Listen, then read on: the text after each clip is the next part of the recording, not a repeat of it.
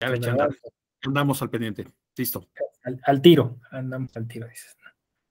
Bienvenidos Delfino, Dante, Víctor, Manuel, Jorge, José Fidel, Jazael, Claudia, los incondicionales, ¿no? Los que siempre ya a primera hora están aquí. Muchas gracias. Exacto, exacto.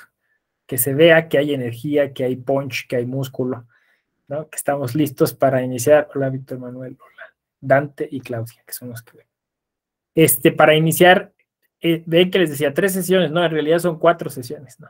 o sea, pero son sesiones dobles, ¿no? O sea, ya terminamos, dejamos atrás el tema de la, del constructivismo en la complejidad y nos vamos a abocar al tema de los derechos humanos, de los derechos humanos. Este, que ahora sí que pónganse sus cinturones porque este tema es sumamente vertiginoso si te estás oyendo, perdón que te interrumpa, doctor, pero sí, se oye ya un poquito como que se corta, ¿eh? Cortado, a ver, me voy a mover. Ok, vale. Me voy, me voy a mover hacia, hacia una zona que tenga más señal. Solo denme un minuto. Un minuto. Es una cosa los routers.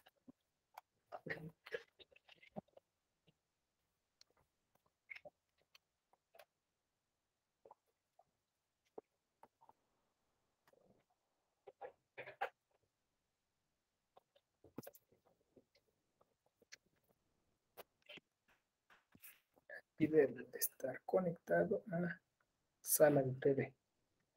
Ok. Bueno, entonces, así, si se, oye cortado, igual me, dicen, ¿eh?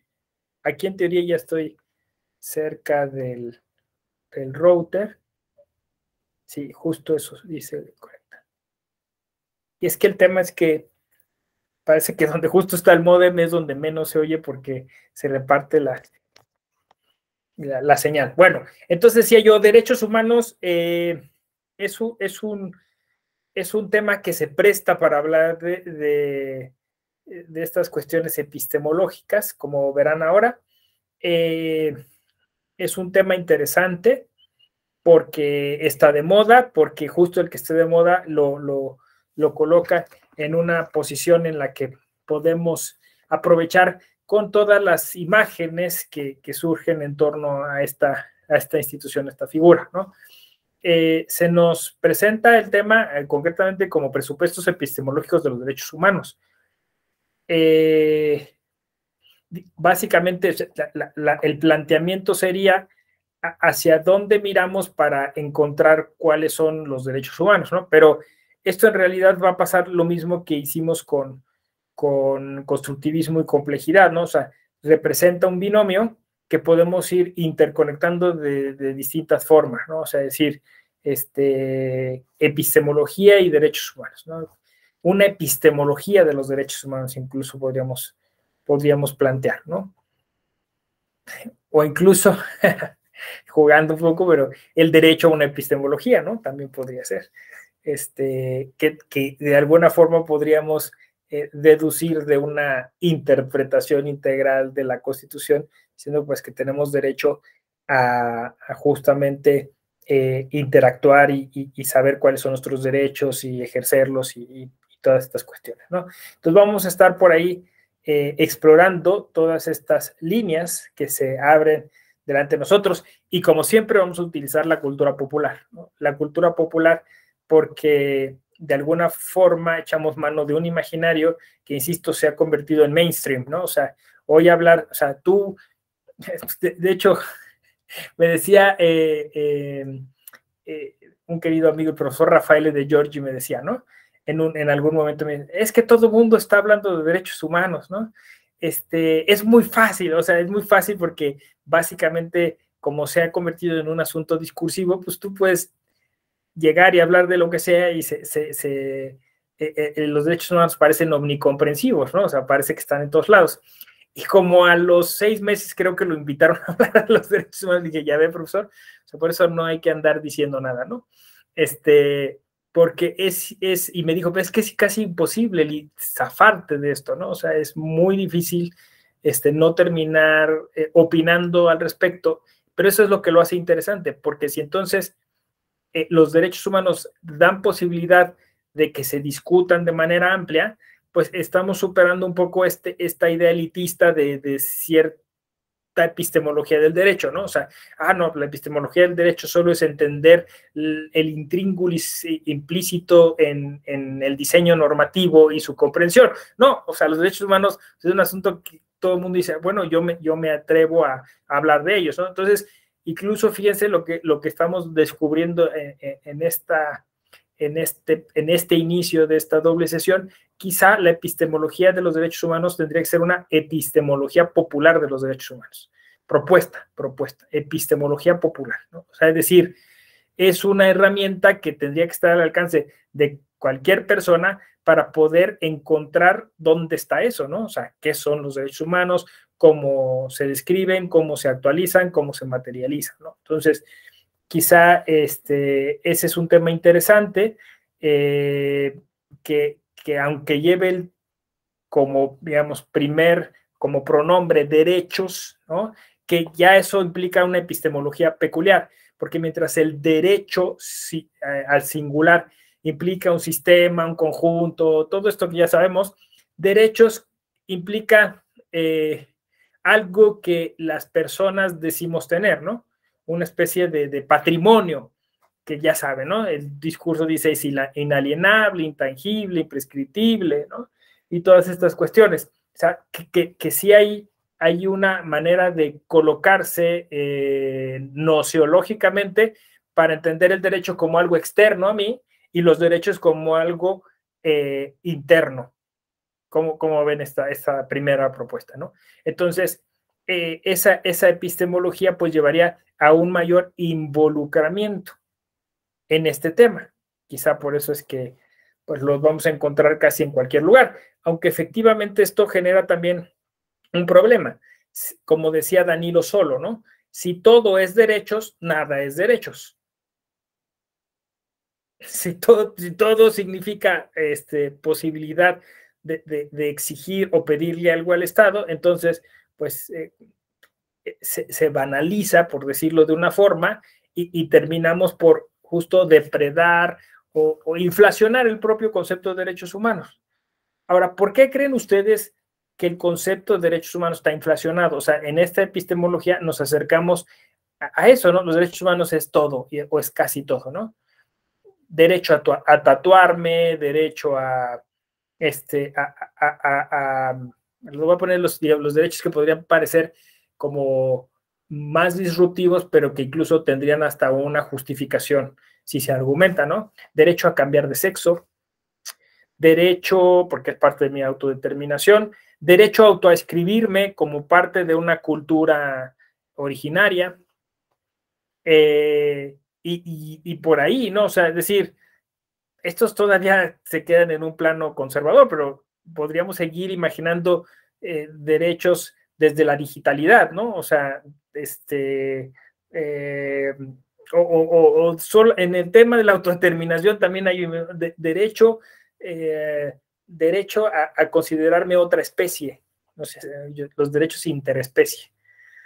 Entonces, este, claro, parece chiste, parece vacilada, pero eso es en lo que estamos hoy, ¿no? O sea, es, un, es una cuestión sumamente compleja, compleja, eh, y, que, y que va siempre de la concepción personal, y que bueno ya vimos lo de complejidad ayer y antes, porque va de la cuestión personal hacia lo colectivo. Yo exigiéndole al colectivo que me reconozca como algo, yo exigiéndole al colectivo que me facilite algo, que me permita algo, que me, que me dé acceso, que me otorgue la libertad de, ¿no? Entonces, eh, creo que incluso ayer lo dije, ¿no? Este, el sistema de derechos humanos, pues es un, es un asunto algo complejo, ¿no? O sea, es algo que tendría que pasar por el pensamiento complejo.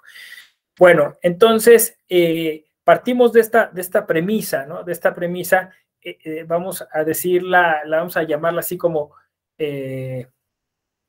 pues, que, que, parte de una, de una duda metódica que, que, que está generando confusión, que, está generando banalización, también ya lo mencionamos, que, está, este, bueno, si se inflaciona, se deprecia, ¿no? O sea, que está depreciando el propio concepto de los derechos humanos, ¿no? O sea, sí, claro, imagínense, podríamos hacer ahorita un recorrido, por ejemplo, que no es mala idea, sobre, sobre memes, o sea, memes donde aparezca el concepto de derechos humanos.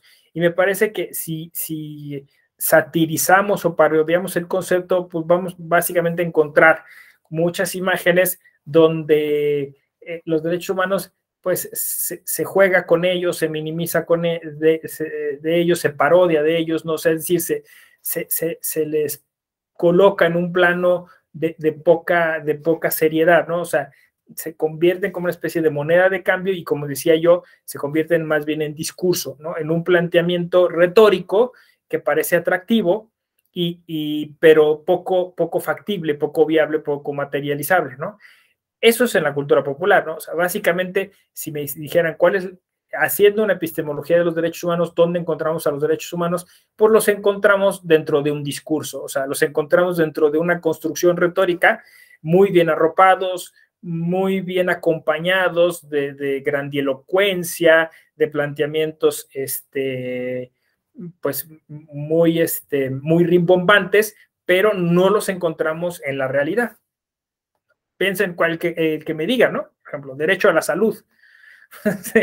este, si no tienes em, un, un, seguro de gastos médicos, si no tienes, o sea, difícilmente tienes acceso y lo demostró la pandemia, ¿no?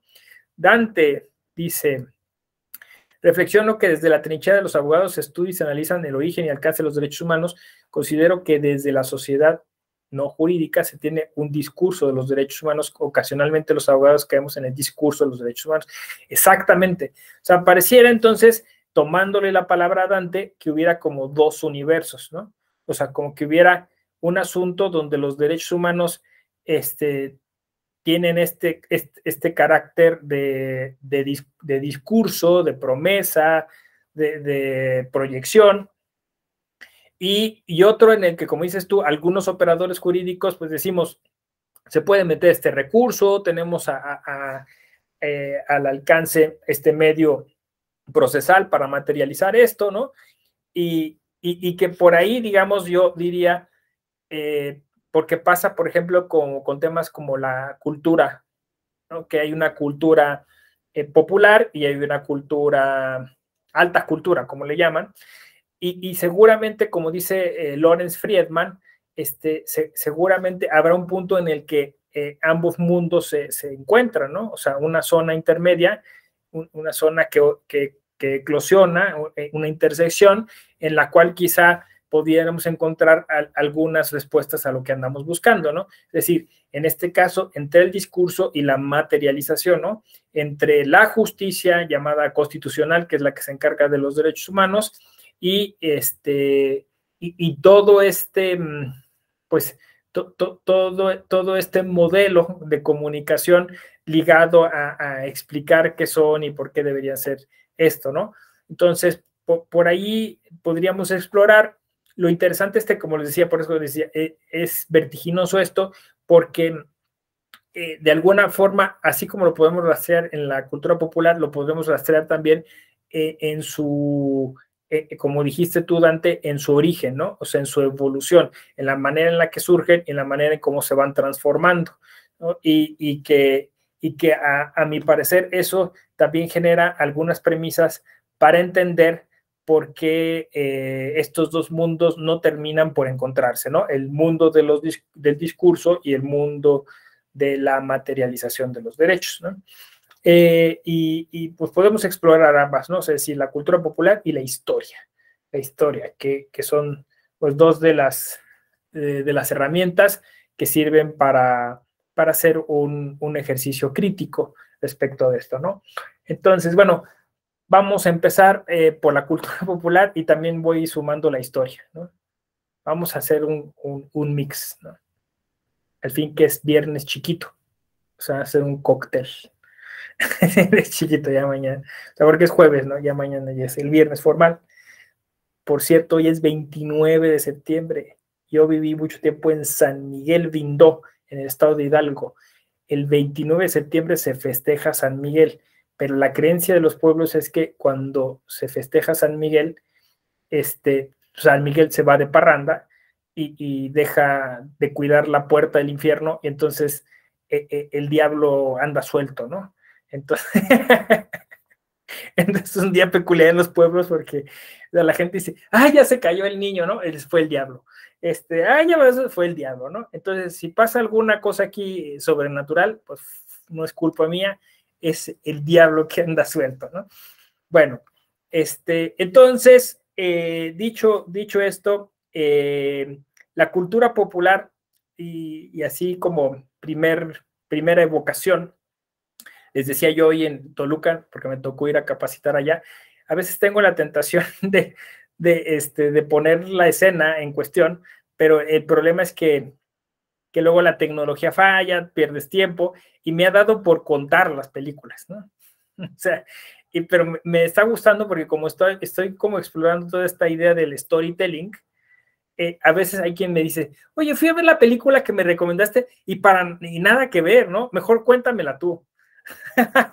Entonces, a lo mejor a través de mis ojos, este, pueden, pueden tener una aproximación a estas películas. Esta película es de HBO Home, eh, o sea, es decir, que no se proyectó en cines, estuvo siempre pues este, ligada a esta, plataforma y este, tiene un repartazo, este, en inglés se llama Strip Search, Strip Search, este, que básicamente es, es casi intraducible, ¿no? Porque casi sería como cateo, ¿no?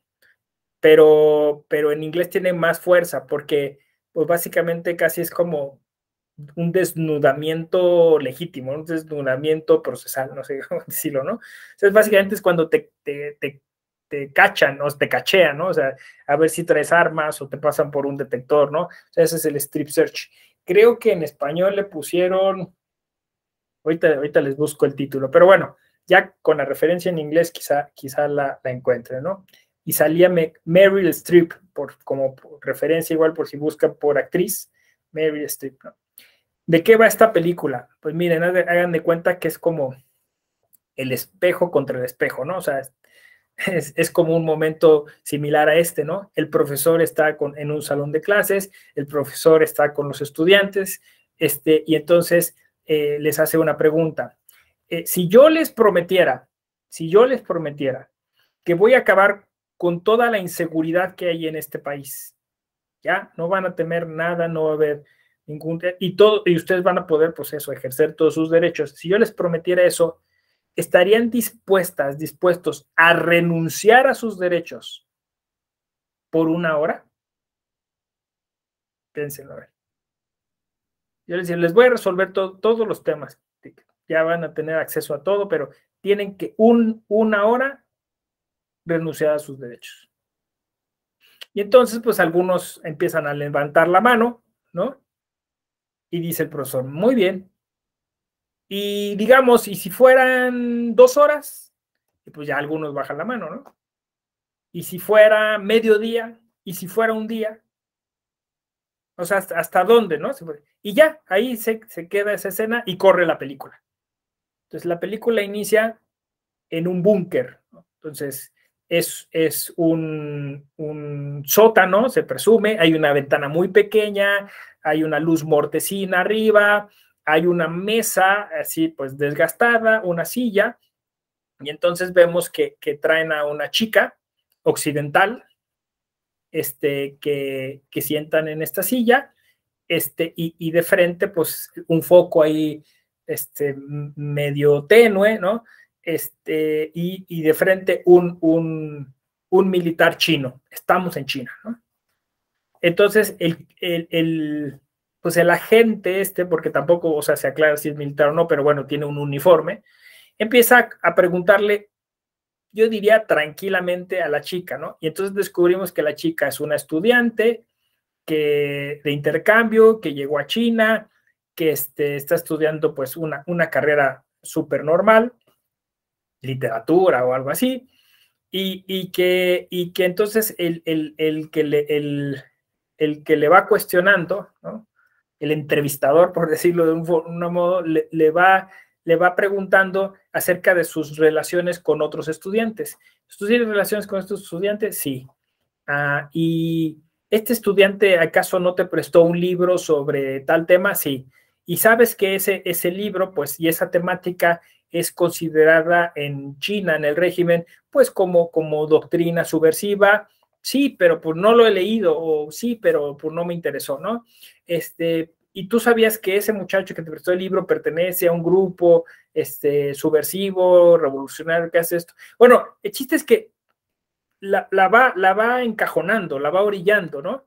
Este, eh, en, este, en esta especie de indagatoria. Obviamente, casi uno podía presumir que, que, casi con métodos de tortura, ¿no? Porque conforme va subiendo el cuestionario, va aumentando la vehemencia, la violencia, va dando manotazos, va acercándose a ella, va amenazándola, ¿no? Y entonces, de, una charla tranquila, eh, la, chica termina este, desnuda, hincada y encañonada. O sea, con un arma en la, en la, en la sien, ¿no? Y diciéndole que confiese. Se acaba, se acaba esa escena y uno dice, claro, China, violadores de derechos humanos, un régimen totalitario, es comprensible, no sé qué, ¿no? Bueno, segundo acto, nos trasladamos a los Estados Unidos.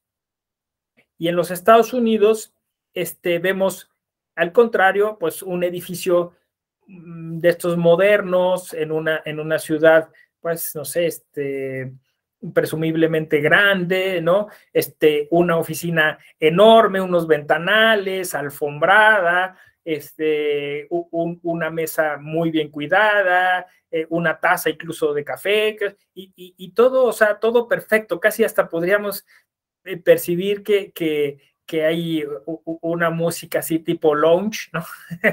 este, quizá un bossa nova, algo así, tan, y entonces entra Meryl Streep, que, en este caso pues, pertenece a, a la CIA o, este, creo que sí a la CIA, ¿no?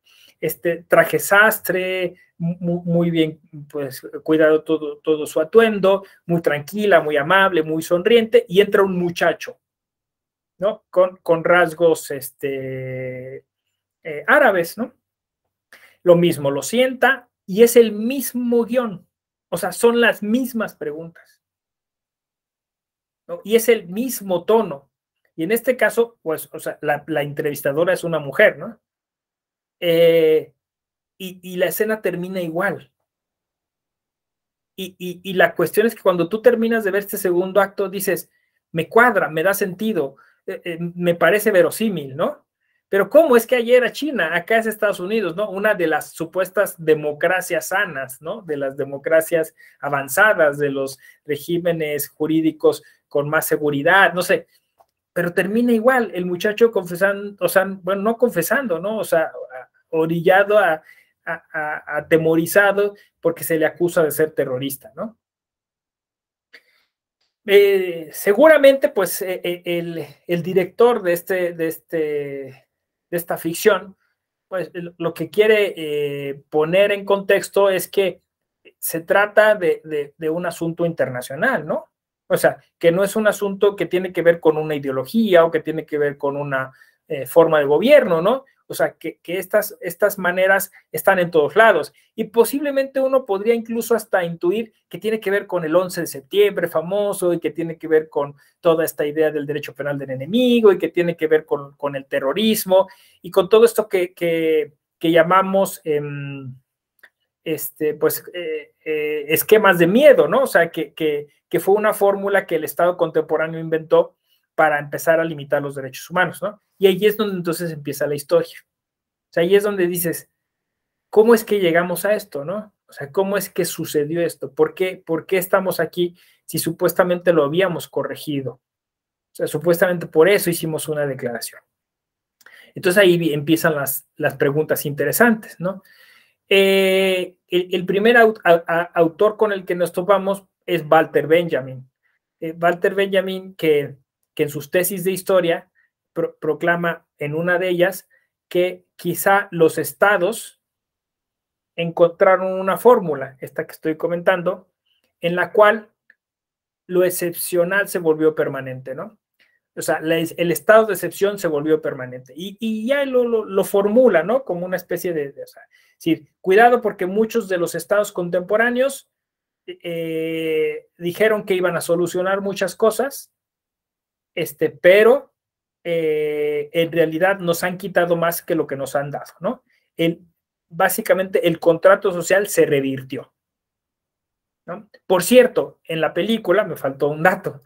Al final, cuando terminan estas dos este, escenas, la, película vuelve con el profesor universitario, que sigue preguntándole a sus estudiantes. Y el espectador tiene la, la respuesta en la boca. ¿Cuánto le darías al Estado para arreglar cualquier problema, el que fuera? ¿Y saben cuál es la respuesta? Ni un minuto. ¿Por qué le tengo que dar algo? Ni un minuto, porque esos hijos de la chingada en un minuto te quitan la vida, te destruyen el futuro. Esa es la conclusión que sacas después de esa película, ¿no? El profesor está jugando con sus estudiantes porque los está llevando hasta allá, ¿no? Sí, ese es el tema. Y es lo que está diciendo Walter Benjamin. Se trastocó, se, se dio la vuelta, ¿no? ¿Quién nos garantiza que no sean más las cosas que nos quitan que las que nos dan? Nada, absolutamente nada. En ese contrato social, una de las partes es absolutamente irresponsable. No hay forma de ganarle al Estado. El Estado tiene la sartén por el mango. No sé si, me explico. O sea, es que ese es el tema. Después, Giorgio Agamben toma esta tesis y hace un libro y lo llama así, El Estado de excepción permanente. Y él describe es, esta, esta forma de ser del Estado contemporáneo, ¿no? el Estado entendió que en lugar de estarnos prometiendo cosas, era más fácil atemorizarnos, segregarnos, balcanizarnos, atomizarnos, meternos a nuestras casas y decir, quédate ahí, quédate ahí, porque si sales, viene el narcotráfico, porque si sales, viene el terrorista, porque si sales, este, viene el, criminal, ¿no? Y, te, y te hace daño, ¿no? Entonces, quédate ahí. Y si estás fuera, posiblemente, o sea, pueda yo interrogarte porque entonces eres parte de los malos. Y si me, me respondes, eres parte de los malos. Y si me criticas, eres parte de los malos. ¿Sí? Ya, ya se... Y entonces nosotros por el miedo empezamos a ceder. Ceder todo, ¿no? O sea, no salgo, no circulo, ¿no? No hablo, no me expreso, no me asocio. En una de esas yo soy el que sigue, ¿no? no e, esto también lo, describe muy bien Bauman, ¿no? Este, y entonces, curiosamente, lo que hicimos fue lo, esta, esta connivencia entre el Estado y el mercado. Lo que sí puedes hacer es cómprate un montón de cosas que te sirvan para superar ese miedo. Y dice Bauman, es ilógico, la gente se compra Homers para andar en la ciudad. ¿No? O sea, ¿para qué esas llantas, para qué esos tumbaburros, para qué esos faros de halógeno en una ciudad? Pero es el mercado vendiéndote a través del miedo. Y el miedo es, el, es la mejor causa para comprar cosas que no comprarías en ningún otro tiempo para aceptar cualquier tipo de reforma, para aceptar cualquier manera este, o modo de, de, o sea, eso, venderte algo. Entonces, fíjense cómo estamos. Estamos, una expresión, acojonados, escondidos en nuestra casa, ¿no? Comprando cosas para superar ese miedo. Porque además, esto nos lleva a otra cuestión histórica, ¿no? Eh, eh, los derechos nos los venden. Los derechos nos los venden. A ver, José Fidel, dices, eh, el miedo conduce al odio y el odio al oscuro. Claro, como decía bien el maestro Yoda, ¿no? Exacto, ¿no? Sí, sí, de hecho sí. O sea, de hecho, e, el miedo es la peor reacción. Había una película súper mala, mala, mala, creo que es la peor de, de DC, ¿no? Este, Linterna Verde, no sé si se acuerdan. Este, pues, entre azul y buenas noches, o sea, casi nadie la vio. Pero bueno, ¿qué tiene de, relevante esta película? El planteamiento, porque era el miedo, ¿se acuerdan? Este, bueno, quien la vio y si no, la, cuento rapidísimamente.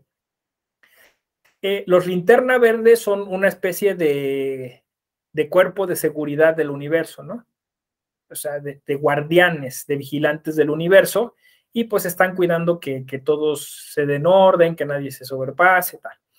Y dependen de un consejo, de un consejo de gobierno, que son los seres más ancianos del universo y que, este, y que pues han alcanzado, pues, gracias a esta enorme inteligencia, el poder organizar bien la vida del universo, ¿no? Pero este, eh, uno de estos, de estos ancianos se corrompe porque por querer explorar, eh, ellos tienen la fuerza verde, la fuerza verde del universo es la fuerza de la voluntad. Y aparece una fuerza amarilla que es la fuerza del miedo. Entonces, este, este ser supremo se corrompe porque se da cuenta que el miedo es más poderoso que la voluntad. Bueno, o él piensa que es eso, ¿no? Porque el miedo, pues eso, este, así arrastra y arrostra, ¿no? Es decir, consume, ¿no? Entonces, pues se fascina con ese poder que le, que le propone el miedo, entonces lo empieza a manejar, sus compañeros dicen, no, no lo hagas, pero él lo hace por eso, por ambición, y el miedo termina consumiéndolo. Entonces ese ser supremo se vuelve el enemigo del universo, porque entonces empieza a consumirlo todo, ¿no? Y entonces, este, eh, en, en, ese, eh, en ese, digamos, en esa crisis este, universal, literalmente, muere uno de los linterna verde y el, el, anillo tiene que, que, porque se concentra esa fuerza en un anillo, tiene que buscar un nuevo guardián y lo busca entre los seres humanos. Entonces, cuando pues descubre, obviamente aún ya se, se imaginará, ¿no? Un personaje que es irresponsable, que, que es vale madrista, ¿no? Fiesteo, no sé.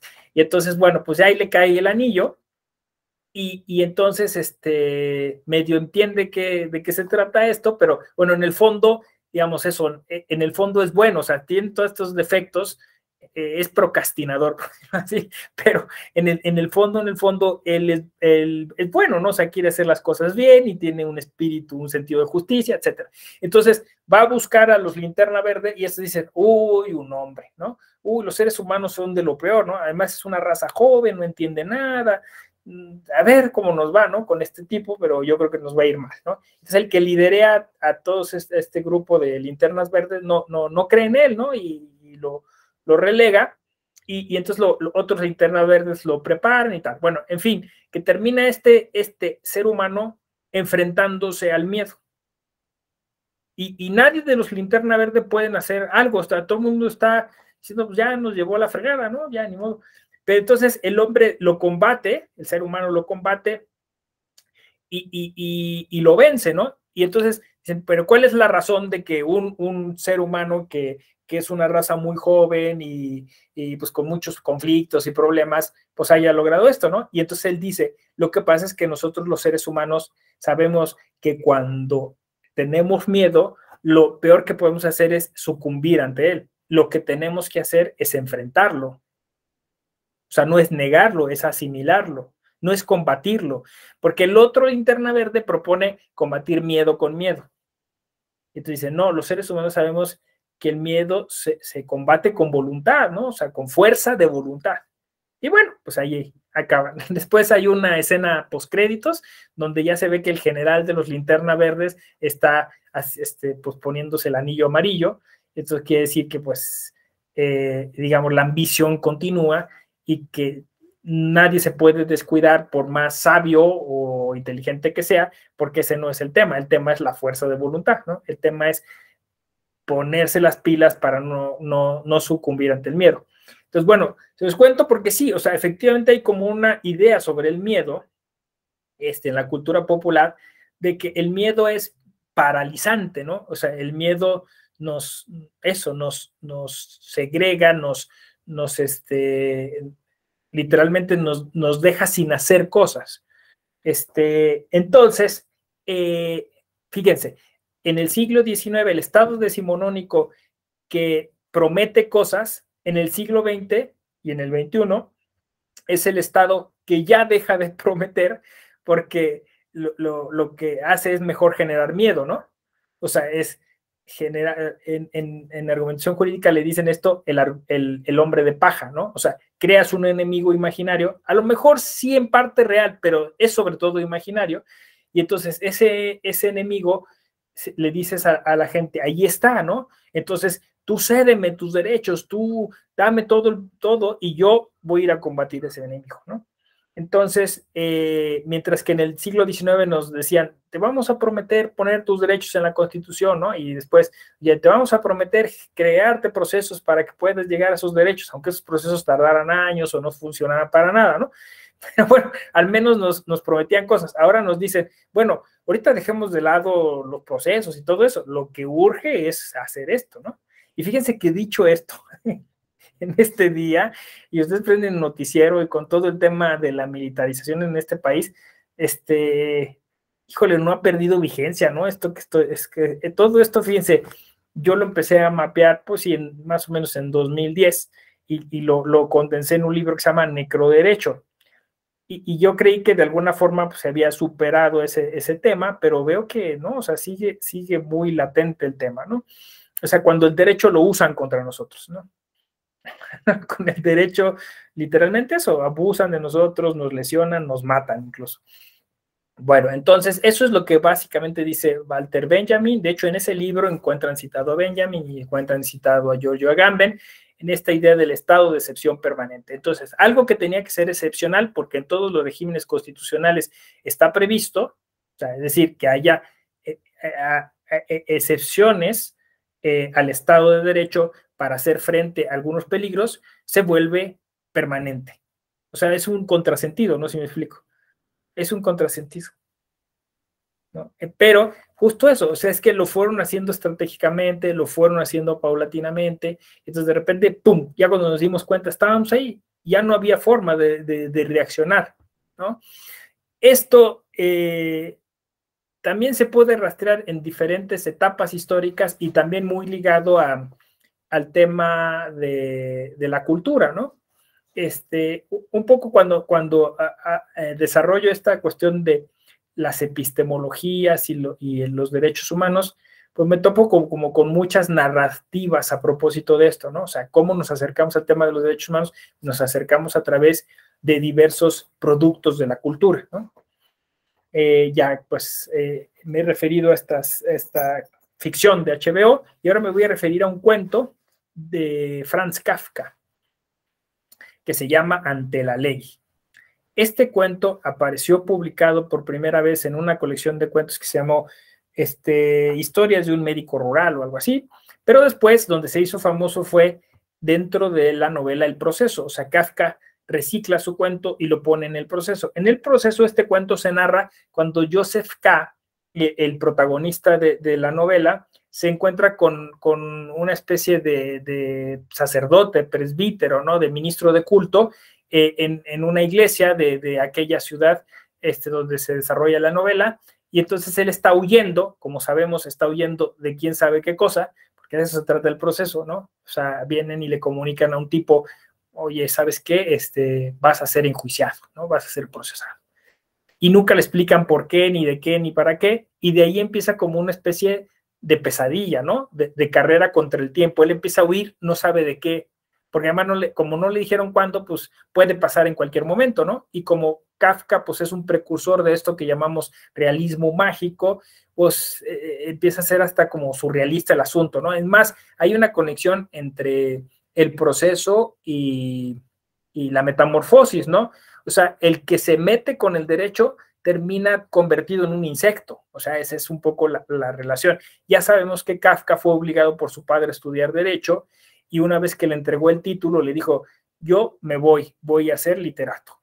Entonces, muchas de sus primeras obras es una reacción a algo que, de alguna manera odió, ¿no? odió al inicio de, su, de su carrera, de su madurez y contra lo que reaccionó tremendamente, ¿no? Entonces, este, eh, el proceso es una crítica tremenda, ¿no? A, todo el pensamiento jurídico. Este, por eso, ¿no? Porque genera ansiedad. Muchos literatos han estudiado, ¿no? toda esta obra kafkiana, Lyotard, por citar alguno, y, le han encontrado tanto simbolismo, o sea, es, impresionante todas las líneas eh, y, todos los, análisis que pueden surgir de, las obras de Kafka, ¿no? Este, pero es eso, ¿no? Es una especie de, de deterioro, no sé, o sea, eh, sus personajes se van deteriorando. Entonces, el que entra en contacto con el derecho se deteriora. E, ese es, el mensaje, ¿no? Y, básicamente el derecho termina siendo un mal necesario. Bueno, entonces, eh, en este cuento ante la ley, dentro del proceso, eh, el ministro oculto le, le, dice esto a Joseph K. Así, nomás porque le dio gusto, ¿no? hay una puerta eh, que custodia un guardián, este, esta puerta se llama la ley, y este, este guardián eh, está fuera de ella, y a esa puerta llega un campesino, ¿no? Eh, llama la atención que Kafka pues ponga énfasis en que es un campesino, ¿no? Puede decir, llegó cualquier persona, ¿no? O sea, entonces, inmediatamente tú dices, pues sí, una persona que está marginada, que está alejada, que, este, que no conoce mucho del medio, ¿no? Y entonces eh, llega a esta, a esta puerta y dice, quiero entrar. Y el guardia le dice, mm, por ahora no se puede. Y Kafka remarca o recalca que la puerta está entreabierta. O sea, el campesino puede ver que hay un fulgor, eh, lo que le hace presumir que lo que desea está allá adentro. Entonces, no es que el Estado no tenga los medios. Lo que pasa es que el negocio se acaba si nos lo da. A ver si, a ver si me sigue, ¿no? Entonces el guardia le dice, espera. Y el campesino dice, ok, va, ¿no? Este, y de repente dice Kafka, pues se acerca así como, oye, ¿crees que tarde mucho? Y el guardia pues nunca, nunca le aclara nada, pero el campesino le dice, y, y por cierto, te traje esto, ¿no? De mi pueblo, y le da regalos, dice Kafka, regalos que nunca desprecia el guardia, ¿no? En algún momento el guardia le dice, oye, ¿y por qué tanta insistencia en entrar aquí si una vez cruzada esta puerta, adentro hay puertas más eh, grandes, pero con guardias más poderosos? Y dice, pues porque no tengo otra opción, porque es lo que tengo que hacer, ¿no? Es parte de, la vida, ¿no? Es lo que tengo que hacer, ¿no? Y entonces el campesino sigue esperando, pues finalmente el campesino este, eh, está ya en la inanición, está a punto de morir, está recostado sobre el piso, le hace un ademán al guardia, le dice que pues que le conceda un último deseo, el guardia dice, claro, adelante, dime, dice, solo quiero hacerte una pregunta antes de morir. ¿Por qué nadie más vino a intentar cruzar por esta puerta? El guardia le dice, porque esta puerta estaba destinada solo para ti. El campesino muere y el guardia cierra la puerta. ¡Pum! En dos hojas, Kafka se despacha todo el derecho. se lo pone patas para arriba. A ver si, a ver si, si, si, se, o sea, imagínense esta explicación, ¿no? Después de oír todo esto del contrato social y todo, no. El Estado es el guardia que no nos quiere dejar entrar, que nos promete que nos va a dejar entrar, pero no nos va a dejar entrar, que genera siempre puertas y guardias más difíciles y más complicados, ¿no? Pero, pero que de alguna forma lucra con nuestra esperanza. ¿Sí? O sea, ese es el, ese es el chiste, el chiste, o sea, porque las cosas están ahí, pero no nos las puede dar, porque si, si nos las da, entonces se acaba un poco la magia, ¿no? O sea, la magia es que nosotros sigamos pidiendo. El, chiste es que no nos vayamos, o sea, que sigamos ahí. Y como dice, es un, toda una vida, es toda una vida pidiendo derechos. Ese es, la situación más deseable para el Estado. Pídeme los que quieras. Yo aquí estoy, ¿no? O sea, los que quieras. Es más, lo que decían cuarta generación, ¿no? Derechos al medio ambiente sano para mis hijos. Sí, ¿cómo no? Yo aquí trabajo. Tú dame tus impuestos. Aquí pongo a trabajar a una serie de gente que va a pensar en cómo hacerlo y lo vamos a diseñar. ¿Y qué más quieres? Venga, dime. No, no, no, o sea, en serio, o sea, no, no, no te limites, por favor, lo que quieras, ¿no? Te lo escribo aquí, ¿no? Reforma, órale, va, ya lo puse. Sí, ya lo pusiste y llevamos 10, 20 años, y, pero ya lo pusiste ahí, pero ¿cómo tengo acceso a eso? Ah, perdón, se me olvidó, te voy a poner un procedimiento. Ah, ya me pusiste el procedimiento, este, pero, este, pues, fíjate que dura mucho, es costoso, necesito contratar un abogado, ¿no? Ah, sí, sí, sí, sí. A ver, vamos viendo cómo lo resuelve. Ya se murió el señor. el que venía pidiendo los derechos. ¿Sí? Más o menos.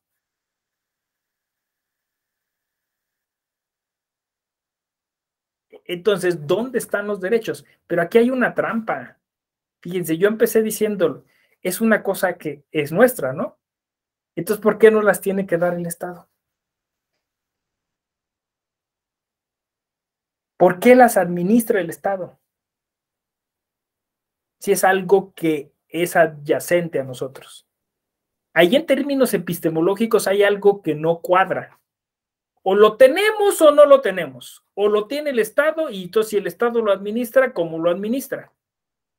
Yo presumo que si lo administra, lo administra de manera clientelar, ¿no?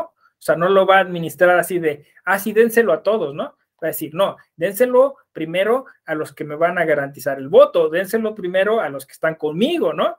O sea, es obvio.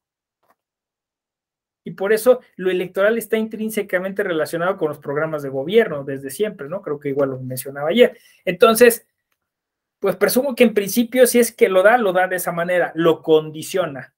Porque hay otro asunto. Los derechos cuestan. Lo vimos con la pandemia, ¿no? Hay un número determinado de camas, hay un número determinado de respiradores y alguien tiene que hacer el maldito conteo, o sea, alguien tiene que hacer la, maldita asignación, ¿no? O sea, alguien tiene que decir, este vive y este muere y uno desea, haría que eso fuera en términos de la ley, ¿no? Yo creo que despertamos de ese letargo que le llamamos igualdad formal. Todos somos iguales ante la ley. Pues sí, pero e, es que el problema es que la ley la tiene que interpretar un fulano que dice este sí y este no. Y normalmente, como somos los seres humanos, pues vamos, los, o sea, ese fulano seguramente va a decidir consciente o inconscientemente por quien más se le asimile por quien más se le parezca. Ese es el rollo de las feministas, porque entonces, teniendo los varones el poder, favorecemos a más varones. Eso es lo que llaman cultura patriarcal. Entonces los derechos distribuyen, pues, a partir de quien tiene el poder. Pero nosotros seguimos ilusionados en que, pues, ahí están y nos, algún día nos los darán, ¿no? De hecho, en algún momento, incluso volviendo a la historia, ¿se acuerdan que se hablaba de primera, segunda, tercera generación de derechos humanos? Como si fueran iPhones.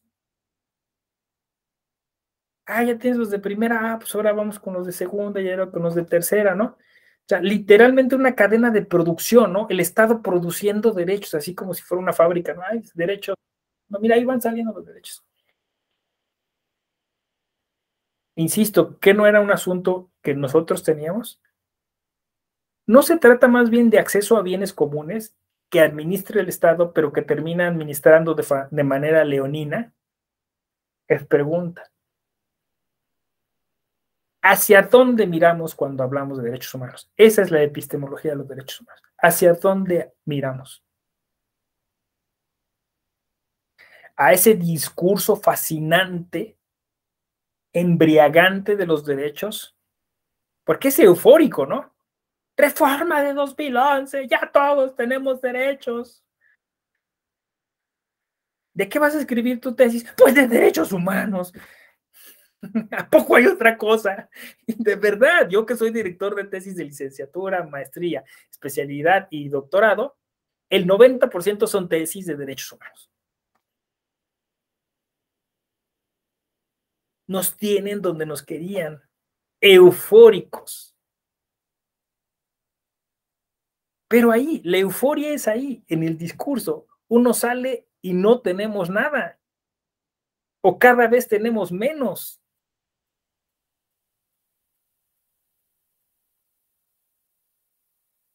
Porque además, o sea, insisto, hay un cochino cálculo, ¿no? O sea, hay lo que hay.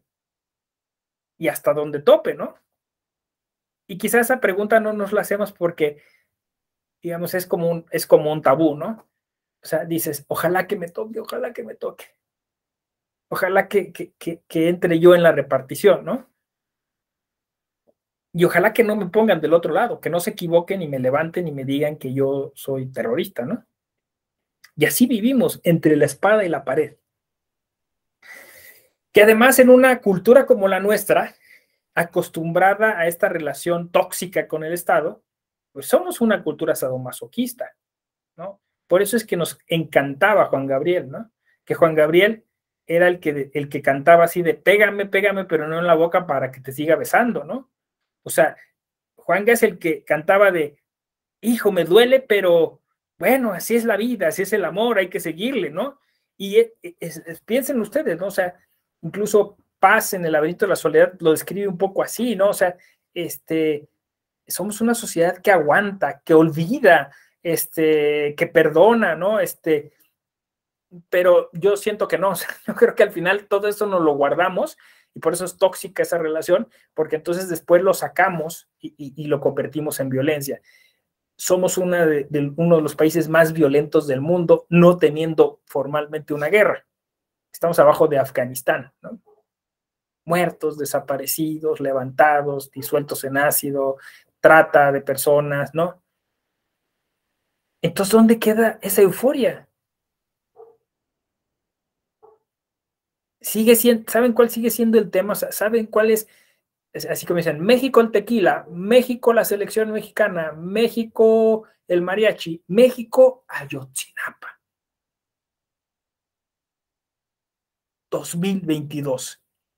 Y no se ha resuelto y no se resolverá. México una fosa.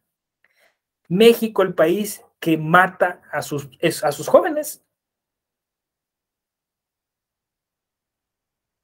es terrible, ¿no? O sea, porque si ustedes lo ven así de manera crítica, insisto, esa, alguien diría epistemologías del sur, ¿no? O sea, pues sí, o sea, desde una epistemología dialéctica, contraintuitiva, crítica, pues no es lo mejor que nos ha pasado los derechos humanos. Porque incluso, piénsenlo ustedes, los derechos humanos son de alguna manera el, el, eh, el, signo del fracaso del derecho. Como el derecho no funcionó, porque con el derecho en los totalitarismos se mató a gente, con el derecho, o sea, con el más, con el derecho electoral, ¿no? Hitler llegó al poder, Hitler utilizó el derecho para segregar a los judíos y a los eh, afrodescendientes y matar a un montón de gente. Entonces no, no podemos no podemos confiarlo todo al derecho. Ah, ya sé, humanicemos al derecho y hablemos de los derechos humanos. Entonces, la tautología, derechos humanos, pues, todos los derechos deberían ser humanos, ¿no? Es para refrendar que fracasó ese modelo. Y en lugar de reinventarlo, hacer otra cosa, lo único que hicimos fue em, ¿cómo se, restaurarlo, ¿no? Pintarlo, darle una manita, ¿no? Un efecto make-up, ¿no? Ya, órale, vas para adelante, ¿no? El derecho otra vez como régimen constitucional, el derecho como sistema, pero ahora le vamos a poner esto, los derechos humanos. Ah, mira, y además como una propaganda fuerte para regresarle ese prestigio al derecho. ¿Y qué vamos a hacer hoy? ¿A humanizar los derechos humanos? Quizá ese no es el camino. Yo les podría proponer una, una posible solución, ¿no? Adelantando alguna hipótesis. Este, quizá el tema es que lo que necesitamos es concebirlos desde lo horizontal. Volvemos al constructivismo y volvemos entonces al tema de la complejidad. Yo tengo algo que alguien más puede necesitar. Entonces, este acceso a los bienes comunes, esos derechos nos los podríamos dar entre nosotros. Esto es lo que llaman horizontalidad, ¿no? O sea, eh, la teoría horizontal de los derechos humanos. Pero tiene sentido. Es más, si quieren, dejemos hablar de derechos humanos, ¿no? O sea, hablemos de la forma en la que nos tenemos que respetar. Y volvemos a la historia. ¿Por qué antes no existían los derechos humanos? Y si yo digo esto, esto es un, vamos a decirlo así, una especie de de oxímoro, ¿no? O sea, si, si yo estoy diciendo que los derechos humanos son intrínsecos allá, entonces siempre que hubo ser humano hubo derechos humanos, ¿no? Pero es que en realidad o sea, hay esta, esta cuestión que se, se, discute a nivel epistemológico, una cosa, o sea, una cosa son los fenómenos y otra las, las, las palabras que denominan esos fenómenos y otras las ideas, ¿no? Que están eh, relacionadas con esos fenómenos, ¿no? Entonces, cuando yo digo antes no existían los derechos humanos, me, refiero a que no existían como un constructo, como una concepción, ¿no? Como una idea, pero a lo mejor existían de otra manera y se le llamaba de otra manera, ¿no? Y es cierto eso, porque fíjense que antes había y existe en muchas culturas la idea de la famosa regla de oro o la regla de plata. La regla de oro es haz a otro lo que quisieras hicieran contigo. La regla de plata es no hagas a otros lo que no quisieras te hicieran a ti. Y esta regla está eh, de manera antropológica diseminada en muchas culturas, en muchas filosofías, incluso alguien lo asocia al tema de la ética. Si estas dos reglas funcionaran, no necesitamos los derechos humanos. Sí, sí, lo están, lo están, lo están viendo. Entonces, terminó siendo una parafernalia que lo que único que está haciendo es distraernos de lo importante. Yo así pondría esa epistemología. O sea, es decir, la epistemología del discurso de los derechos humanos nos está haciendo mirar hacia otro lado entender las cosas de forma distorsionada. Si ustedes de aquí sacan la conclusión de dejemos de hablar de derechos humanos, está bien. Claro, que obviamente eso nos colocaría en una posición así como de, este, eh, poco, de, digamos, políticamente incorrecta, ¿no? O sea, dice, ah, no, ah, entonces tú, tú eres un, un, este, retrógrada, tú eres un, este, eh, un fascista, ¿cómo que no vamos a hablar de derechos humanos? No, porque vamos a hablar de otra cosa que puede trascender, que puede ser más importante, ¿no? Por ejemplo, la ética, ¿no? Pero, sinceramente, antes de esta charla, ¿habían ustedes escuchado alguna cuestión crítica hacia los derechos humanos? Difícilmente, ¿no? O sea, díganmelo con toda sinceridad. O sea, no, ¿verdad? eso demuestra justo con creces lo que estoy diciendo, que se ha convertido no solo en una moda, sino en una tremenda propaganda que es difícil de construir, criticar, desmontar. Justo por eso, porque es propaganda. Entonces genera sectas, genera fanatismos, ¿no? ¿Qué opinan? A ver. porque eh, los veo así un poco absortos, absorta, Claudia. Cuéntenme, desahóguense.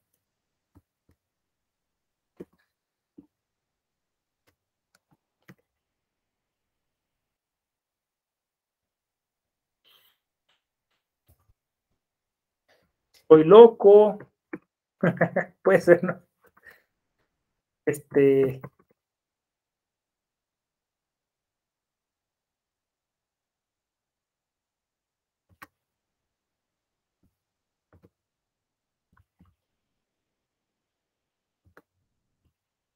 ¿Qué opinan ustedes? o sea, ¿tiene sentido lo que digo o si, si de plano debrayé, como se dice?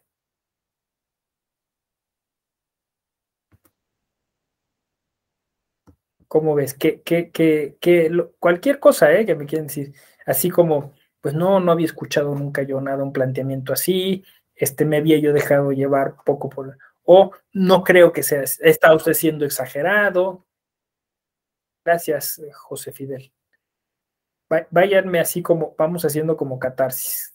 ¿Qué, opinan? Incluso así, si quieren, en orden. Delfino, tú dime, este, bien, mal, exagerado, este, eh, estoy en shock, lo que quieran, que nada más un poquito como para para, este, como dicen, medirle el agua a los tamales. A ver, cuéntame, Delfino, ¿qué opinas? Sí, buenas noches, este doctor. Sí, me parece que, este, que el punto de vista que usted nos expresa es este, algo que llama la atención porque desde que dio el tema de los derechos humanos en, con la reforma constitucional, eh, nosotros nos enfocamos a, eh, a, cambiar como la forma de ver el derecho. Anteriormente lo, lo hacíamos de una manera en donde solamente hablábamos de eh, garantías individuales, de esas garantías individuales, cómo se protegían, pero como que ya con la entrada de los derechos humanos vimos temas que posiblemente no, no los estábamos aplicando en el, en el ámbito en el que nosotros nos, nos desempeñábamos. En este caso hablábamos de igualdades, de derechos, de temas de discriminación, y, ya de repente eso, esos, esos, este, esos temas empezaron a permear, por ejemplo, en el caso en los que yo atiendo, como son derecho familiar, pues las figuras jurídicas tradicionales, en donde de repente ya no, este, eh, nosotros, nosotros siempre teníamos la idea, ¿no? Pues la, el matrimonio es la unión entre un hombre y una mujer. Y ahora actualmente ya con la, este, con la entrada de los derechos humanos, pues ya está permitido el, el, el derecho de, de contraer matrimonio entre parejas del mismo sexo. Ahora, en, en, el tema de la educación, ¿no? Actualmente manejábamos la, la idea que este, existían reglas muy estrictas, bueno, vamos a llamar, o muy tradicionales, por ejemplo, en la educación, ¿no? En donde eh, nosotros que, que, bueno, ya tenemos, este, eh, vivimos en un, este, em, en donde nos enseñaron, ¿no? De que pues el cabello corto, este, no tatuajes, eh, eh, yo creo que eso actualmente ya no aplica en, en, el caso de, de, las actuales este, generaciones, ¿no? En donde ya al, al, menor de edad no se le puede exigir este, que vaya con cierto corte de cabello, con este, cierta ropa, este, es más, este, se promueven este, que ya pueden ir los hombres con faldas sin ningún problema, las, este, entonces todo eso como que de repente sí, sí cambió nuestra forma de, nuestra perspectiva de cómo ver los derechos humanos, ¿no? O sea, ya no era este, lo que actualmente nosotros denominamos tradicional, ¿no? Yo le digo, yo terminé la universidad en el 2000, este, en 1996, donde pues, realmente eh, nuestros este, temarios eh, no venían esos temas. Entonces, como que ahorita es adentrarnos y como usted dice, ¿no? Este, ver, ver el derecho pues de una, desde un enfoque, pero ya distinto al que, al que tradicionalmente lo veníamos haciendo. Esa es mi participación, este doctor. Muchas, muchas, muchas gracias, este, Delfino, porque de alguna manera, em, digamos, lo que, lo, que yo sintetizo de, esto que dices es que eh, las sociedades cambian, ¿no?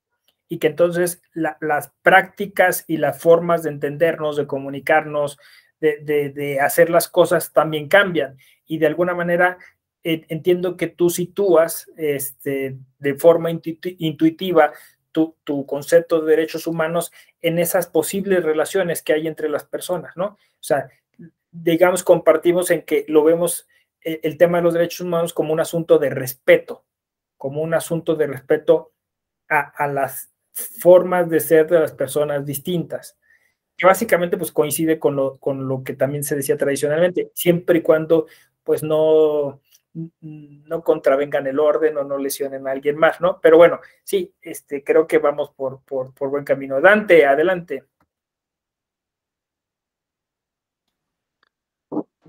Buenas tardes para todos otra vez. Eh, justamente eh, eh, del comentario del Fino,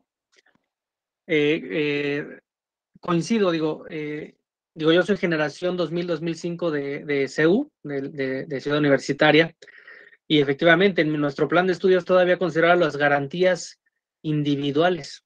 ¿no? O sea, no, no existía, aunque bueno, sí existía el concepto de derechos humanos, pero no era algo propiamente positivo en nuestro sistema.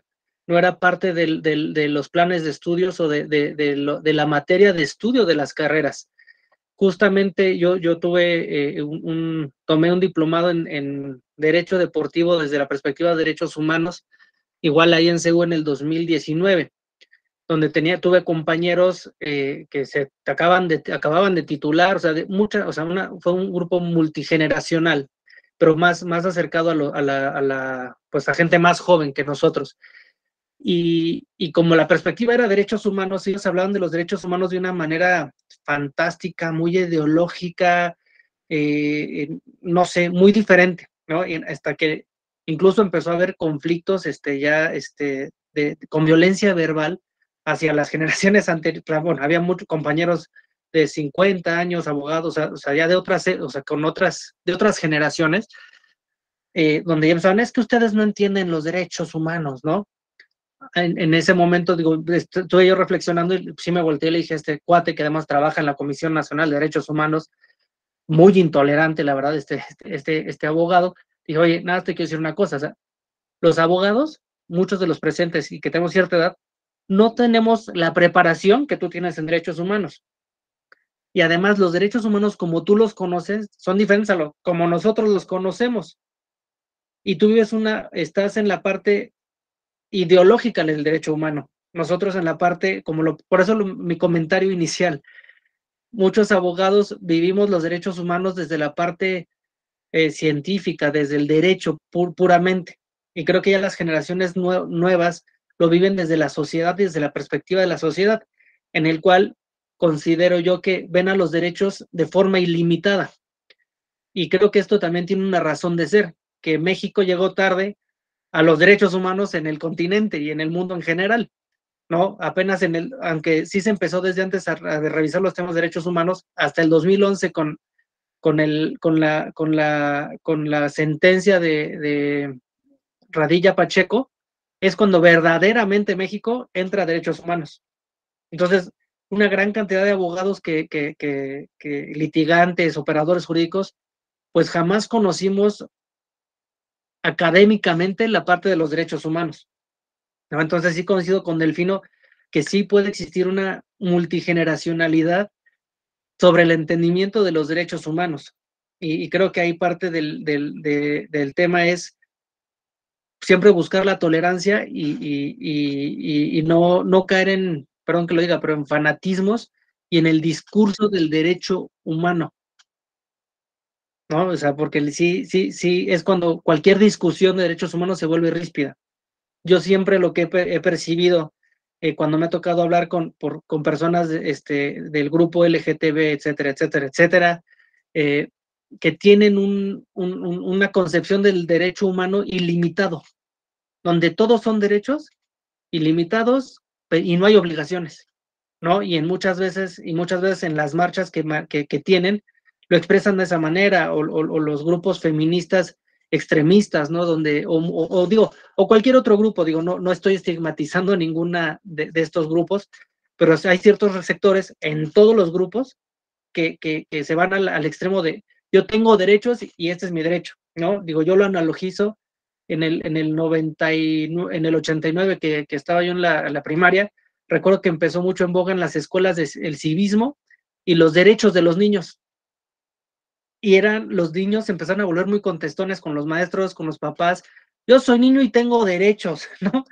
Y, empezó también toda una travesía de, educar sobre la, verdadera riqueza y realidad de los derechos de los niños. Y pienso que, en, los grupos eh, vulnerables, el discurso del derecho humano les otorgó empoderamiento, pero no, no les no, no, no, no leyeron la letra pequeña o la parte de atrás de la hoja que dice que también tienen obligaciones y que los derechos humanos sí son limitados, no son ilimitados. Perdón, ya, ya hice abuso de la voz. De, eso se trata y yo lo prometí y está bien y todo el tiempo que sea necesario, ¿no? Este, porque sí, digo, dentro de estas eh, yo le llamo cabos sueltos, ¿no? O sea, como eso, ¿los tenemos o no los tenemos? ¿Nos los da el Estado o simplemente nos tendría que facilitar? Todas estas cosas que yo, eso, ¿no? Antes eran garantías individuales, ahora son derechos. Son derechos este, fundamentales, humanos, este, en qué se distinguen con los derechos del ciudadano, eh, eh, son, em, o sea, todo esto, todos estos cabos sueltos, uno de ellos es ese que tú estás mencionando no se, no se dice que todo derecho le corresponde una obligación. ¿Dónde quedó la obligación? y ya ustedes ya, ya podrían, después de lo que yo expliqué aquí, saber dónde queda la obligación. Pues queda invisibilizada, porque a ningún Estado, a ningún sistema político le conviene hablar de obligaciones. No es, no es atractivo, no ganas votos, ¿no? Entonces, por eso se exacerba el discurso de los derechos de ese modo, porque si tú empiezas a decir, bueno, y tienen obligaciones, pues entonces la, gente se, cree, se, se ahuyentaría, pero en realidad es que es de sentido común, ¿no? O sea, si, si, alguien, alguien tiene esto, alguien deja de tenerlo. Es obvio, ¿no? Este, y, o alguien tiene la obligación de darlo. Y, y, eso es lo que no se habla de esa, de esa, o sea, de hecho, yo he llegado a plantear, lo pueden leer ahí en Axis, que eso nos vuelve egoístas, o sea, es un derecho egoísta, es un derecho donde estamos como Pac-Mans devorando derechos. Este, es, hay una autora italiana que se llama, eh, este, ay, se me fue ahorita el nombre, eh, Ana Pintore, que ella dice que es la insaciabilidad de los derechos. O sea, lo que está generando es que tú exijas, exijas derechos, te vuelvas egoísta, es lo que dicen los niños. Ya, mis derechos, oye, momento y cuándo te toca colaborar, cuándo te toca contribuir, cuándo te toca hacer, cuándo te toca, ¿no? Y eso se, ha olvidado justo por eso, porque se trata de una propaganda. Entonces sí tienes razón. Ahora, este asunto intergeneracional o transgeneracional, ¿no? Sí, es posible, es posible, ¿no? Y es posible que tenga que ver con estos debates que a propósito de la piel delgada o de la generación de cristal y de no aguanta nada y, de pues eso, ¿no? De, eh, de este mundo es una locura porque todo, todos hacen lo que les da la gana, ¿no? Un poco eso, y, estamos dejando de lado los consensos y eso. Bueno, es, es un poco porque de alguna forma, este, nosotros como la generación anterior, eh, este, no, no, pusimos atención en estas cuestiones, ¿no? Y, entonces estamos heredando un, momento que en, algún, que en algún modo nos convino, nos ajustó, o sea, nos hizo felices hablar de la reforma del 2011, nos hizo felices pensar que éramos distintos a la generación pasada, ¿no?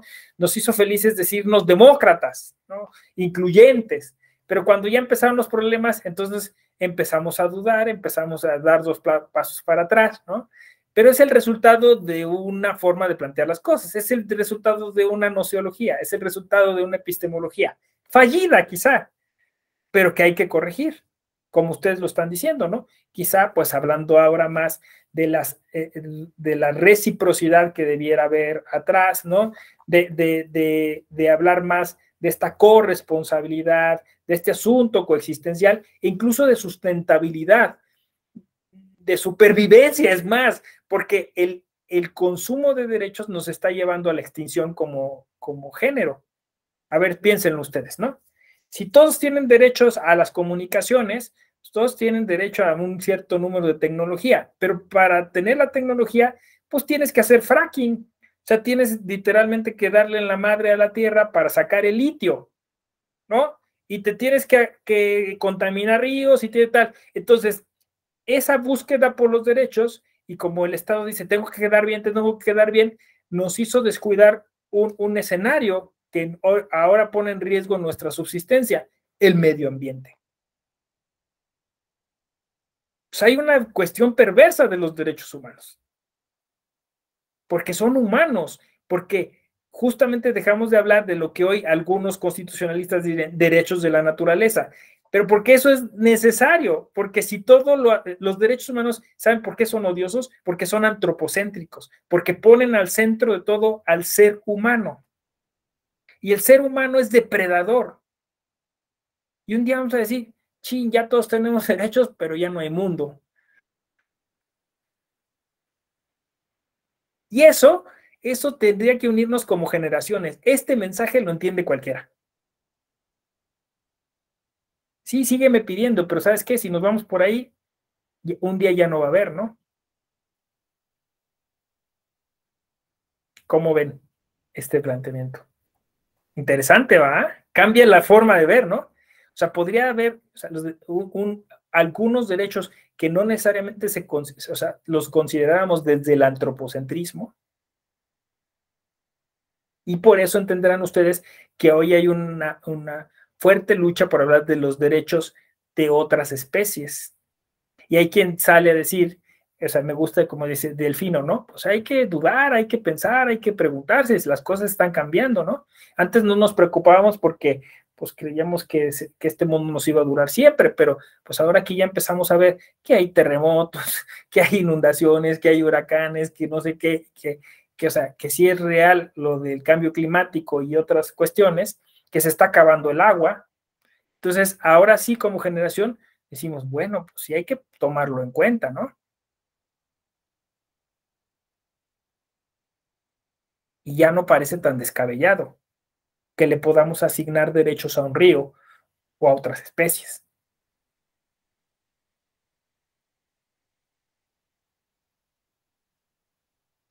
Como ven, está, está interesante ese tema, ¿no? Porque entonces, fíjense, estamos concluyendo en esta primera sesión que quizá hay una epistemología fallida de los derechos porque los enfocamos en el ser humano. Y ya eso vuelve complicados. Sí, Dante.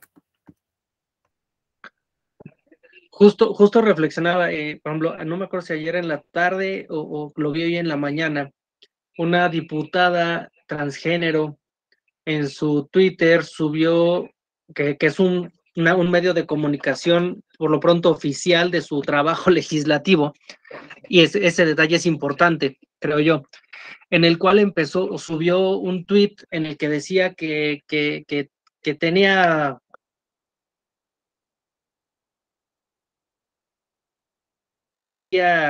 ciertas herramientas, etcétera, ¿no? O sea, un, un tweet muy, muy candente, o sea, muy explícito, vaya, sobre la sexualidad.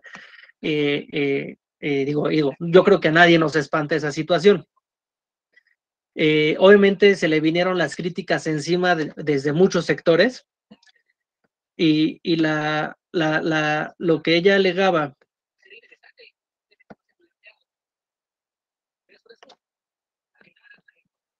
Hola, hola. Sí, te quedaste en lo ah. que ella alegaba. es que se quedó congelada la pantalla. Ok, y, lo que ella alegaba es que ella tenía derechos y que podía expresarse y que estaban limitando su sexualidad, ¿no? Y nuevamente creo que vemos un, un panorama de los derechos humanos egoísta, individualista, y donde se piensa que los derechos humanos son ilimitados, porque al fin de cuentas sí tiene el derecho de expresarse, siempre y cuando no afecte los derechos de otros, ¿no? Eh, o, de, comunicarse, o sea, eso, o, de, ejercer su sexual, ah, porque ella alegaba que no la dejan ejercer su sexualidad como ella quiera, ¿no? Entonces, creo que sí podría ser un ejemplo, o pues, se podría hacer un, un ejercicio epistemológico de los derechos humanos, donde está una funcionaria elegida de elección popular, donde se pueden cruzar muchos, muchos temas, ¿no? Desde eh, eh, pensaría yo, su, la,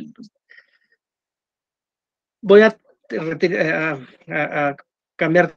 En alguna ocasión, eh, bueno, en, un curso también de aquí del eje, eh, cuando fue lo de la consulta popular, que estaba la veda electoral, muchos se cuestionaban si López Obrador, el presidente, puede manifestarse o no respecto de los temas políticos. Y el punto es definir como ciudadano sí, pero como presidente no pero ¿en qué momento se discierne o, qué lo separa del presidente del ciudadano? Y creo que este caso es exactamente el mismo. ¿En qué momento se, se discierne cuál es el, el mensaje de la diputada que de la ciudadana? ¿No? Entonces, creo que, que, que, buscar eh, si, si, esa realidad que ella está, o pues si esa realidad que ella está expresando tiene elementos verdaderos, eh, ¿cómo decirlo? No sé, me, estoy tratando de utilizar algunos conceptos epistemológicos, porque como dijo el, doctor Raúl Ávila, la epistemología es la sensora de, la, del conocimiento, ¿no? O sea, busca verificar que el conocimiento o que la realidad sea la realidad. Entonces, epistemológicamente pues, sería buscar si lo que están diciendo la, la, la, diputada tiene, tiene realidad, ¿no? Pero aquí nos encontramos que hay dos realidades, la realidad de la diputada y la realidad de la ciudadana, que en algún punto es la misma. Y quizá es un poco de lo que hablábamos ayer del, de, la, de, la complejidad, ¿no? De cómo, de, la holografía, ¿el qué es el aquí? Hologramático. Eh, hologramático, justo.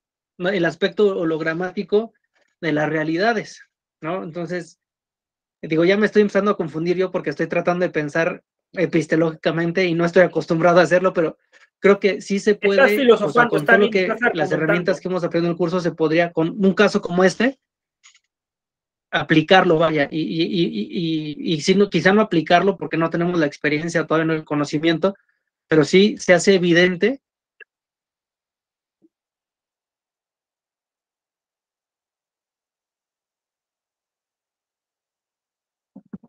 Se congeló, ¿verdad? Hola, hola. Ya regresaste. Yo creo que ahí te está este, como el diablo está jugando con tu internet, ¿eh?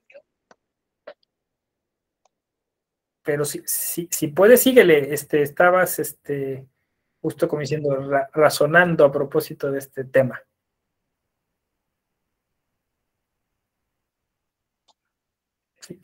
Este, si me lo permiten, voy a apagar la cámara, a lo mejor así tengo un mejor ancho de banda.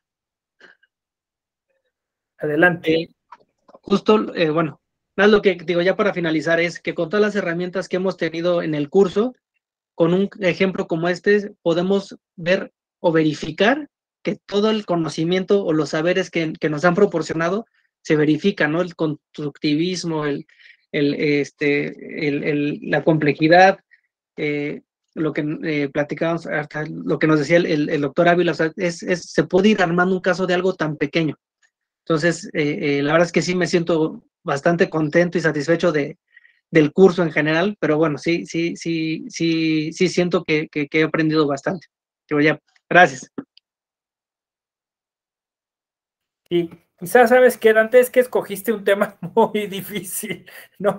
Y, te agradezco la valentía porque sí es un tema muy complicado, porque en la medida en que tú fuiste avanzando te diste cuenta que, que o sea, que es el tema que hoy tenemos, que quizá a lo mejor esta, esta diputada que yo, yo leí a ese tweet, pues eh, sí, sí buscaba, o sea, se veía forzado lo que había puesto ahí, se veía mm, incluso hasta en, ciertos términos exhibicionista, ¿no? Pero que ahorita que ya lo estuviste como discurriendo y lo estuviste pensando, dices, pues a lo mejor no, no, no, o sea, fue más, más escandaloso que realmente lo que hubiera podido estar reivindicando o lo que pudiera haber estado diciendo, ¿no? Y luego, bueno, quisiste, te fuiste como al, tema de quizá, quizá eh, el punto controvertido es que eh, siendo, y así también empezaste, siendo una funcionaria pública, no se pueda distinguir entre un, utilizar la, red social como alguna una cosa personal y, una cosa informando sobre su trabajo público, ¿no? Que a lo mejor eso sí es un punto que puede ser polémico, ¿no? Pero creo que sobre las expresiones que sí, a lo mejor estuvieron de más, eran incómodas, eran este, hasta cierto punto, pues así, este, como dije yo, forzadas, pero creo que no, no, no lesionaba ni lastimaba a nadie, ¿no? O sea, no, no sé, básicamente fue una catarsis, no sé, algo que, quiso hacer, ¿no? Este, eh, quizá lo que, lo que nos, más bien lo que, no que nos molesta, sino que nos llama la atención es que de alguna manera esta, esta, este tema que, yo dije, eh, que es el tema como de la autodeterminación, ¿no? O sea, es decir, esta locura que está sucediendo, que, que cada quien sea lo que quiera hacer, ¿no? Y que entonces ya no hay como, como, pues como consensos en muchas cosas, ¿no? Entonces, eh, digamos, a una generación como la nuestra sí le preocupa, ¿no? O sea, ¿cómo te trato? O sea, porque me dices que, que a veces puede, el tema de los no binarios, ¿no? Me dices que a veces te sientes hombre, a veces te sientes mujer, este, pero a, lo mejor ahorita te sientes hombre, pero estás vestido como mujer, y entonces, ¿cómo te hablo, no? Y dices, pues háblame em, como un tercer género, ella, ¿no? Está bien, estoy dispuesto, no pasa nada, ¿no? Pero o sea, quizá es eso que decía Delfino al principio, ¿no? Son que las cosas cambian. que, y, y luego también quizá como generación queremos como asumir un liderazgo y decir, bueno, pero quizá no te estará haciendo un poco ruido todas estas cuestiones de, de, no saber quién eres y luego nosotros nos puedes llegar a complicar las cosas. Yo digo que es una cosa de entendimiento. Sí, como dices tú, ligándolo a la, epistemología, resulta en muchos ejercicios que, que terminan este, siendo, ¿cómo diría yo? Multiplicadores, ¿no? De, de, de, de, las, de, las líneas de análisis, ¿no? Que ese es el tema de la epistemología. Y que al final de cuentas lo que hace es eh, o, genera la necesidad de mucho mayor diálogo. Yo siempre he, dicho, pues mira, si tienes duda, pregunta, es más fácil, ¿no? Y, y también creo que si, si alguien te pide que te refieras a esa persona de un modo y a, ti no te va a afectar nada, pues hazlo, ¿no? O sea, porque mientras, como dijeron ustedes, eso no afecte a nadie o no, no lesione a nadie, pues puede pasar, ¿no? Yo siento que de alguna manera terminaremos por, por entender o reconducir las cosas hacia, hacia algún sitio, ¿no? Todo esto se va a complicar más porque eh, eh, el uso de la tecnología, este, la realidad virtual, ¿no? O sea, esto ya pues, va a pasar que, en cuanto empecemos a, utilizar la realidad virtual, pues te topes con personas que, adquieran una, una personalidad absolutamente distinta o diametralmente opuesta a lo que en la vida real sería, ¿no? Entonces, es complicado, pero al final, este, creo que seguimos en la búsqueda de, lo que nos hace felices y, de respetar, yo diría de respetar eh, por las posturas de los demás, que a veces, pues sí, pueden, pueden rayar en lo, en lo estrambótico, en lo exótico, ¿no? Y, y, e incluso pueden llegar hasta ser polémicas, ¿no? Porque alguien que diga, me gusta lastimarme, por ejemplo, ¿no? Entonces, bueno, pues mientras no lastime a alguien, ¿no? O me quiero suicidar o quiero terminar con mi vida, ¿no? Entonces, ahí, ahí quizá, pues, eh, es que pues estamos comprometidos con la vida, es un principio tal, pero no tengo, no tengo una vida adecuada o sí la tengo, pero simplemente no quiero vivir y, y los temas van a ser siempre cada vez más complicados, cada vez más complicados, pero les digo una cosa, no podemos detenerlo, o sea, esto es algo que comenzó y que, y que va a ser así, ¿no? Este, cada vez más estrambótico. Y, y, qué bueno que se decidieron estudiar un diplomado en epistemología, porque eso les va a dar, como dijiste tú, Dante, pues un poco de, de, sensatez, de, coherencia, ¿no? Al menos de, tratar de eh, elaborar una explicación, ¿no? Yo diría, en términos muy nicheanos, y, tampoco de, tratar de categorizar esa realidad, o sea, de decir es así y esto es mejor que esto otro, ¿no? Sino tratar de entenderla y de algún modo, pues hacer propuestas comunes, ¿no? Pero sí, sí es, es un rollo bien complejo. Y concluiría yo con decir respeto, en la medida de lo posible, respeto, ¿no? Hasta donde se pueda, respeto. Si, si no hay, pues, una alusión eso, personal, que dañe la fama de alguien o la integridad de alguien o, a cuestiones así. Pues muy bien. Este, estamos cerrando esta primera sesión que se puso interesante. Mañana vamos a continuar. Vamos a iniciar con una escena emblemática también respecto de esto en el cine. Todavía tengo muchas películas y series para comentar con ustedes. Este, y si se les ocurren ustedes ejemplos, igual tráiganlos, si ven caricaturas, si ven algún meme, alguna cosa que les llame la atención, así como Dante hoy puso en, eh, en, la palestra esta discusión sobre el dicho de esta diputada, este, adelante, ¿no? Eso sirve para tallerear, para, para comentar estas cosas. Pues les deseo una buena velada y nos vemos el día de mañana, misma hora, mismo canal. Gracias.